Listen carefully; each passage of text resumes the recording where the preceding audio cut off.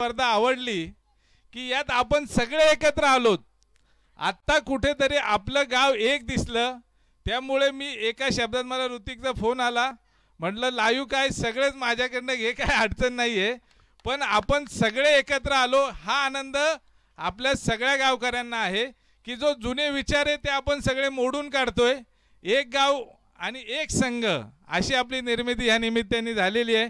पुन्हा एकदा सर्वांना शुभेच्छा देतो. आणि कोणत्याही अडचणीला मी चोवीस तास उपलब्ध आहे असंही सर्वांना माझ्या वतीने सांगतो.